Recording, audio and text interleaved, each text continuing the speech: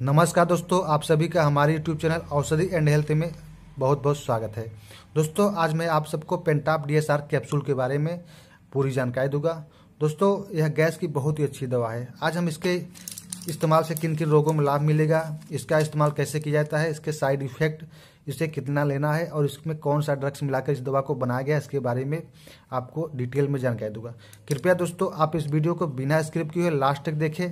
तभी आपको इस डीएसआर कैप्सूल के बारे में अच्छे से जानकारी मिलेगी। दोस्तों, अगर आप इस चैनल पर पहली बार आए हो तो प्लीज़ इस चैनल को सब्सक्राइब कर दें, क्योंकि आपको इस चैनल पर रोज़ाना दवा, घरेलू नुस्खे और हेल्थ टिप्स संबंधी जानकारियाँ मिलती रहेगी। पेंटाप डीएसआर कैप्सूल जो है, एक स्ट्रीम में दस कैप्सूल में आता है और इस दस कैप्सूल का प्राइस जो है, एक सौ पंद्रह रुपया है। यह आपको सभी मेडिकल स्टोर पे बहुत ही आसानी से मिल जाएगा।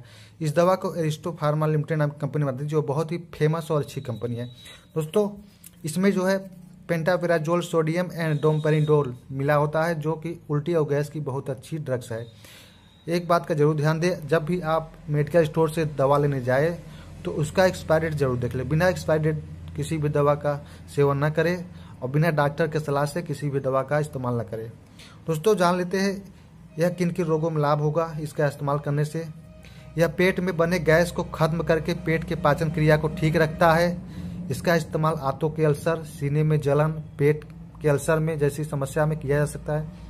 अगर आपको कच्ची ढिकार आ रही हो तो आप इसका इस्तेमाल कर सकते हैं। यह उल्टी को आराम पहुंचाता है। अगर आपको पेट में गैस हो या उल्टी जैसा लग रहा हो या उल्टी हो रही हो तो आप इसका इस्तेमाल कर सकते हैं। आपको बहुत ही जल्द आराम मिलेगा। इसके डोज के बारे में जान लेते हैं। इसे कितना लेना है? एडल्ट इसे दिन में एक कैप्सूल सुबह खाली पेट लेना है या फिर आप अपने डॉक्टर के सलाह के बाद ही इस कैप्सूल का इस्तेमाल करें। इस कैप्सूल के लेने से आपको कुछ साइड इफ़ेक्ट भी हो सकते हैं, लेकिन बहुत ही कम लोगों में देखा गया इसके साइड इफ़ेक्ट। आपको सिर दर्द हो सकता है या दस्त हो सकती है सांस लेने में समस्या हो सकती है।